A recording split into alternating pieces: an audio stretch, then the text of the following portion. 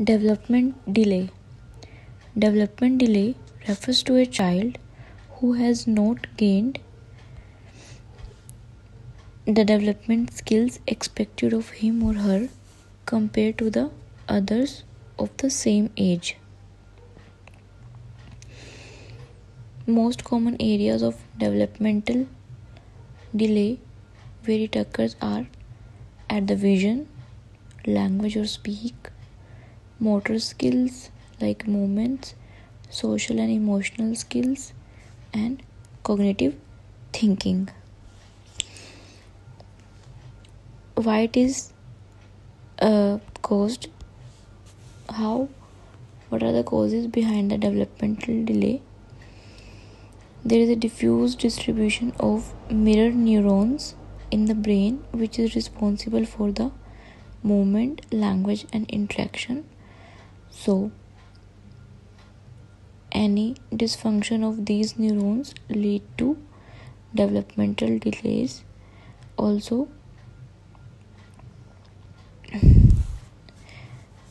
what happens um, in the developmental delay?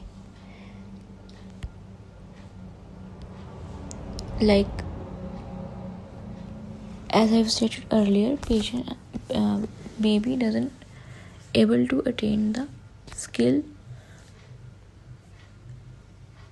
at that specific age group related to the others baby.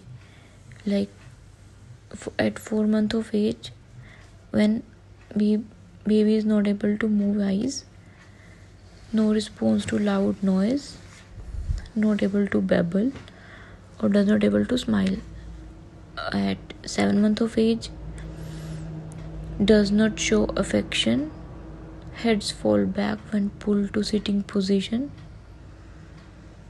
At 1 year of age does not crawl does not stand with sport or does not walk by the 18 month of age.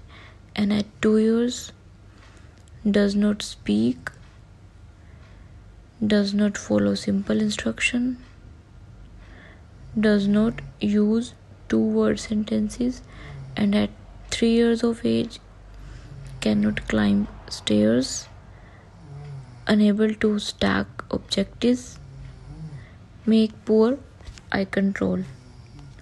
So, how to prevent developmental delays? We have to take care proper prenatal and early childhood care. Talk with your doctor about taking important supplementation during pregnancy like iron, folic acid, folate, and B12. And talk with your doctor about all medication that you are taking during pregnancy, whether there are any adverse or side effect of those medications any prenatal infections like HIV, cytomegalovirus, rubella, toxoplasmosis, or in general, we can say it as torch infection.